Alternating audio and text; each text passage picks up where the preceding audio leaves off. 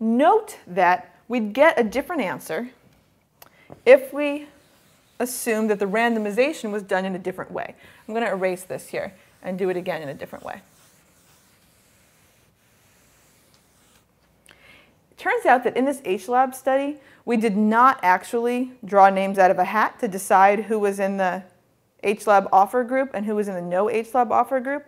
What we actually did was we flipped a coin for each person to determine whether they were in the HLAB offer group or the no HLAB offer group. And the reason we did it that way is that people were coming in one by one, so we couldn't wait to get all the names and put them in a hat and then draw some. We had to be able to tell each person whether they were being offered help or not. This is called Bernoulli randomization, and we briefly talked about it on a previous lesson.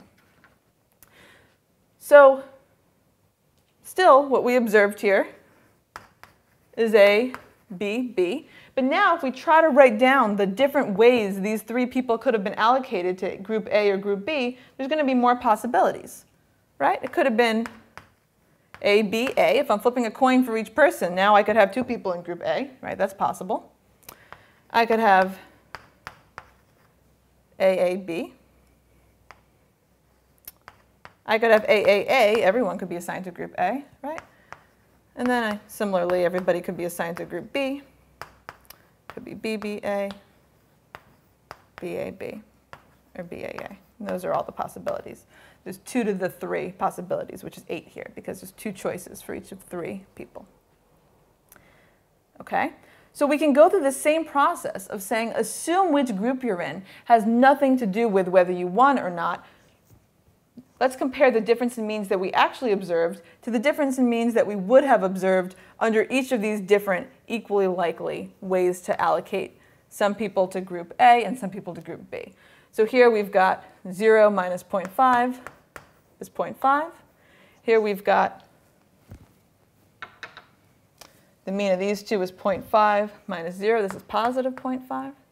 Here we've got the mean of 0 and 0 is 0 minus 1 negative 1. This one's hard. I can't take a difference in means if everybody's in the same group. Typically what we do is pretend that one wasn't possible. Okay? Is that great? It's a problem with Bernoulli randomization. Similarly, let's pretend this one is not possible. Okay? Here, we've got 1 minus the mean of 0 and 0 is 1. We've got 0 minus the mean of 0 and 1 is negative 0.5. And we've got the mean of 0 and 1, which is 0.5, minus 0, which is positive 0.5. Pretending, because we have to, that these two random allocations were not actually possible, here's the list of test statistics that we'd expect to see. And so if we make our reference distribution for the difference in means,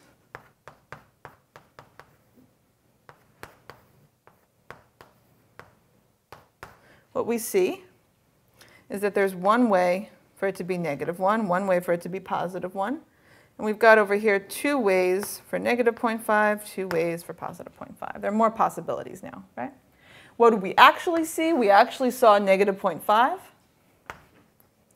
The probability that we'd see a difference in means, at least as negative as we actually saw, is 1, 2, 3 out of 1, 2, 3, 4, 5, 6. is a half. Do I find that surprising? No. Right? Given that there's no relationship between group and whether you win or not, half the time I'd see data at least as extreme as I actually saw. I don't find this surprising at all.